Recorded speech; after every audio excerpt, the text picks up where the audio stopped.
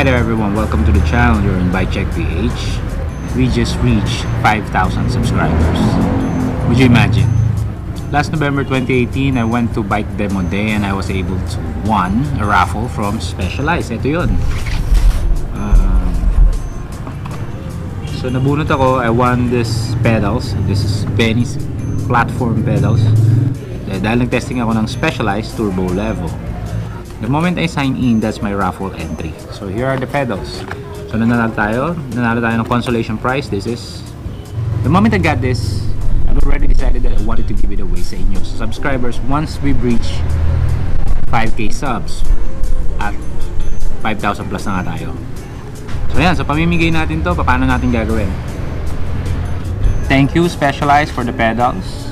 This was supposed to be mine. This is not sponsored para i-giveaway. This was, nanalo talaga ako sa raffle. But, anyway. Sabi ng mga tropa just, this was worth, ang worth nito is around 3,000, eh, around 4,000? I think, 4 to 5,000 pesos, I think. Parang ganun. Anyway, brief history tayo kasi nagulat na lang ako 5k sub na tayo. A few months ago, last September, last end of September, nag-decide ako na parang gusto kong mag ah, vlog about bikes. So, nung una hesitant nga ako, pero ang first time ko nag-upload, I think it's the end of September, mga September 30 yata. I think it's September 29 or 30 yata. That was my first uh, upload as a vlogger about bikes. Kasi yung channel ko naman is matagal na yan eh. Ginawa ko lang, I'm using my YouTube account as storage for my video edits. Pero not as a public. Hindi ako nagpa-public. First time ko lang ginawa yan last September, last end of September 29, 2018. So yun, first week wala nangyari. Then I decided the second week, mag-upload ako ng, ng mag-upload ako ng videos once a day for the next two weeks. So yun, so para dumami yung ah, laman ng channel. Tapos nagulat na lang ako after a week. So that's the second week. So after two weeks, 1,000 plus na yung subscriber. Then, bago ako nakapag-post nung video about the 1, 1K sub, 2K na siya. so, so parang ang bilis. So na, right now, we are 3 months old. 3 months and 2, 3 days, I think. So mga ganun lang. So approximately we're 3 months old and we are now 5,000 subs. Biluin mo yun, di ba? So pwede ba tayo consider as the fastest growing bike vlog channel sa Pilipinas? I, don't know. Konti lang naman yata yung mga bike vlogger sa Pilipinas eh. Parang yung mga nakikita ko na common, parang yung mga common ko nakikita, konti lang kami. Baka yung iba hindi ko alam. Balik tayo sa raffle. Not all of you would be interested, but for those who are, this would be the mechanics. I would like to give priority sa mga Pinoy. So you have to be Pinoy and you have to be residing in the Philippines.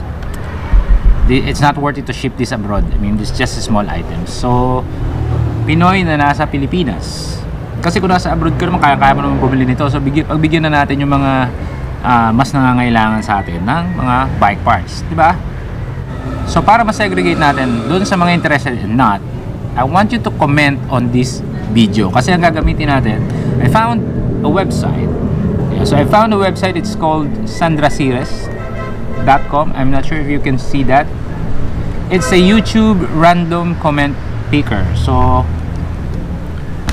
kapag nilagay natin yung address ng video, ah meron siyang button na magra-random pick siya ng comment. So, para hindi ako pipili. Again, it's a random comment picker. So, you have to comment. Dito sa video na to. So, ah dapat sa kada user isa lang ang comment kasi baka naman i-flood nyo, di ba? I mean, maraming ganun eh. So, ang requirements is one comment kada subscriber. Kapag nagdoble ka, i-delete ko yung comment mo para hindi ka nakasali. So, isa lang. Huwag nang makulit. Ayun, we will give this video 7 days para makapag-comment kayo at makasali. So, today is January 6, Sunday. So, we're going to raffle these pedals next week. Next Sunday, it's January 13. So, yun na doon natin gagawin yung raffle. So, kailangan mag-comment muna kayo sa video na to.